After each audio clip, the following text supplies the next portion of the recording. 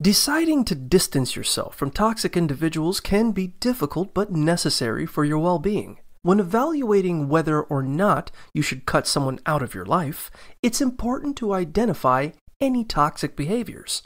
You should also weigh the pros and cons of cutting ties and take time to effectively communicate your boundaries beforehand. Trust your instincts and prioritize your own happiness. Whether you choose to completely cut off contact or just take a break, surround yourself with supportive relationships to help you get through this transition time. Remember to stay firm in your decision and not allow toxic individuals to pull you back in. Prioritize your mental health and well being above all else.